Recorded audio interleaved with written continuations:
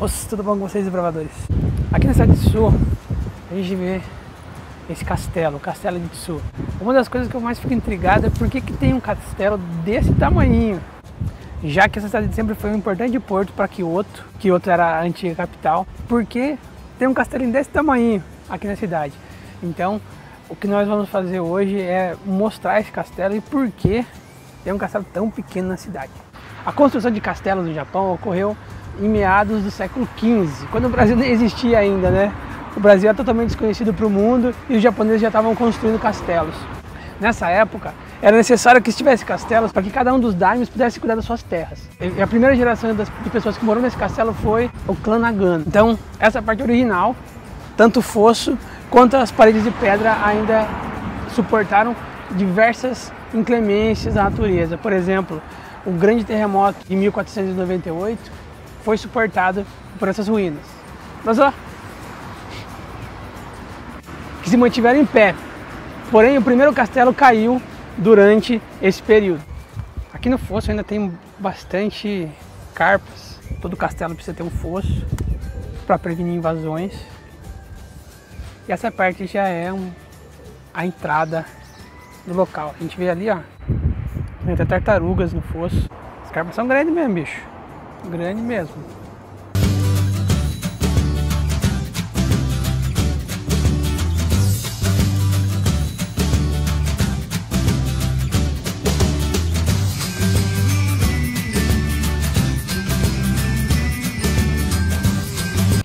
Essa aqui é a entrada do que hoje é o parque, do que antes foi o castelo.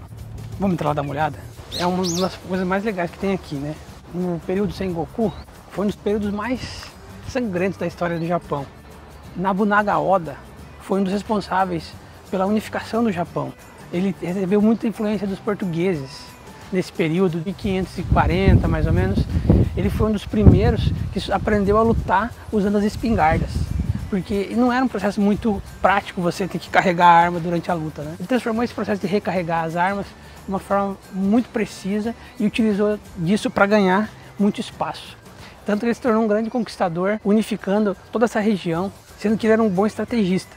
Ele ficou muito famoso porque ele conseguiu, com um exército de 3 mil homens, derrotar um exército rival com 30 mil homens. As características do castelo são muito de acordo com o daimyo da região e pouco menos em relação à religiosidade. Tanto que a gente que Dobugana Oda ele foi um dos primeiros que incentivaram o cristianismo no Japão.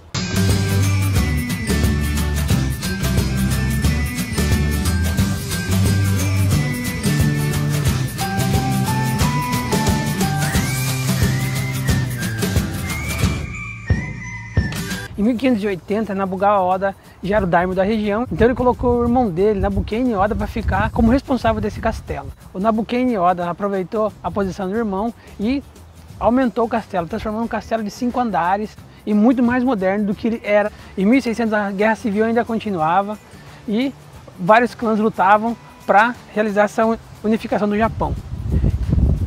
Então durante a batalha de Sekigahara, um grupo grande de inimigos veio para o castelo de Tsu, o clã Tomita e o clã Tokugawa ajudaram as defesas do castelo a se proteger. Porém, eles eram 1.300 homens contra 30 mil homens. Eles resistiram bravamente, porém, não teve como, realmente o castelo caiu e ele foi queimado. Essa sendo a segunda destruição do castelo.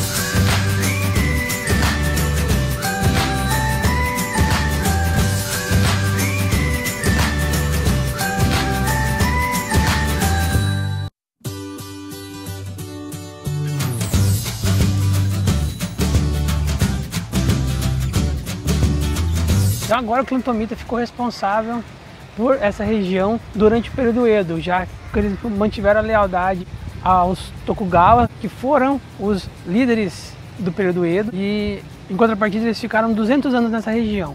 Esse rapaz está aqui atrás de mim se chamava Toda Takatora. Ele foi o responsável por reconstruir o castelo. Ele reconstruiu um castelo, dessa vez de três andares, ficou muito maior, muito diferente. Ele também é conhecido por ter reformado vários castelos da época do período medieval. Mais uma vez, em 1662, ocorreu um incêndio e derrubou todo o castelo. Dessa vez, o clã Tomita não recebeu autorização para realizar a reconstrução total do castelo. Eles apenas construíram uma torre e essa torre permaneceu por mais de 200 anos sem cair dessa vez.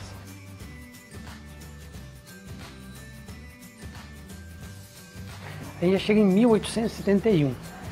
O castelo já é desmilitarizado e eles desconstroem o castelo. Porque nessa época já não era mais preciso, a gente já está na era Meiji.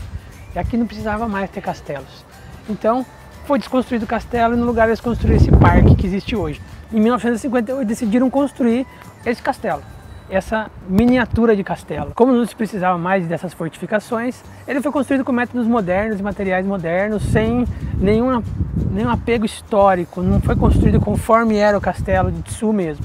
Foi construída apenas essa torre, essa Yasura, de três andares, muito pequena, sem nenhuma necessidade de parecer com a original. Não é só porque a gente vê o castelo de Nagoya, gigantesco, ele também foi destruído e foi reconstruído depois da Segunda Guerra.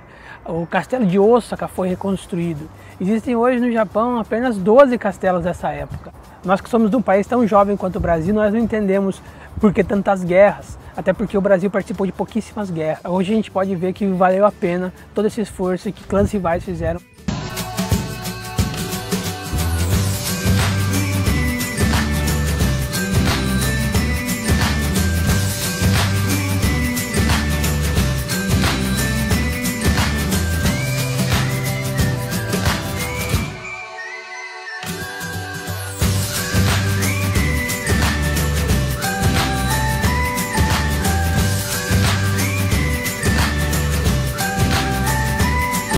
Isso aí, desbravadores. Eu agradeço a atenção que vocês tiveram. A gente fez esse vídeo bem rápido hoje.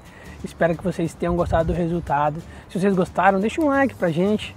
Se vocês não são inscritos no canal ainda, se inscreve no canal, convidem seus amigos para curtir o canal, participem também das nossas redes sociais. O Japão ele é muito mais do que só tecnologia, ele é muito mais do que só história, ele é um mundo, ele é um universo todo muito complexo que a gente está aqui para aprender com ele e é muito importante o apoio de vocês, é por vocês que a gente realiza todo esse trabalho, todo esse esforço. E amanhã é feriado. Domo arigatou gozaimasu, desbravadores-san.